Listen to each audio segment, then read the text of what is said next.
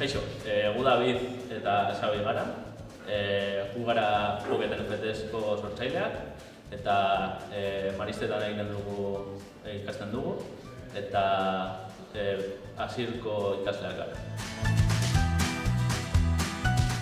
Eh, Pocket NFTs es una, una fusión entre el pasado y el futuro en el tema de a- coger todo el- todos los, los cromos, todo lo que jugábamos de pequeños y pasarlo a, a lo digital, a tenerlo, en vez de tener un taco en tu casa, pues tener tus, eh, tus cromos o tu, eh, las cartas para jugar, tenerlas en digital guardadas y saber que son para ti.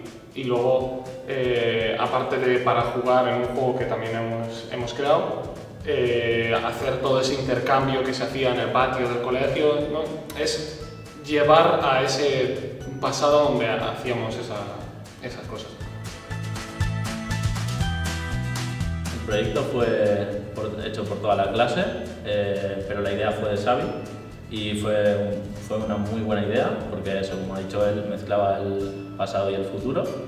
Y al final eh, recibimos ayuda de una empresa aun teniendo ayuda de una empresa externa y ayuda de esa empresa, era demasiado ambicioso como para hacerlo en un corto plazo.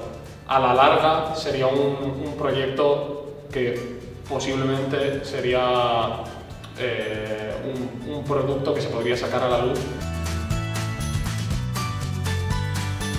Nuestro proyecto se basa en la tecnología NFT eh, y los NFT se basan en, el blockchain, que básicamente tener un NFT significa que ese artículo, en este caso el cromo, eh, es único y eh, es a la que tú lo, lo intercambies o lo vendas,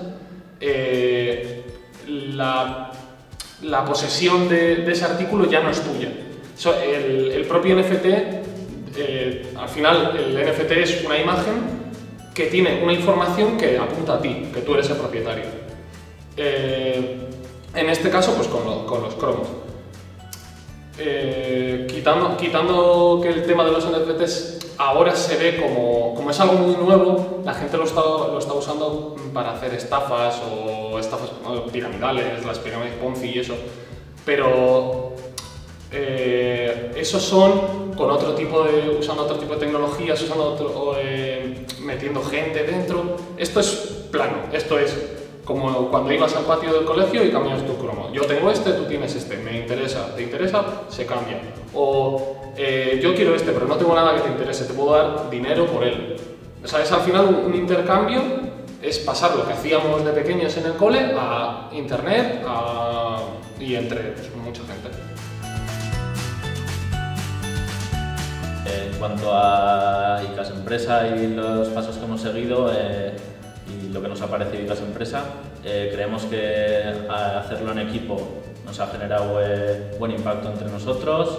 Eh, también hemos aprendido cómo hacer una empresa, los distintos pasos que hemos seguido para, para hacerla y hemos aprendido mucho sobre ello.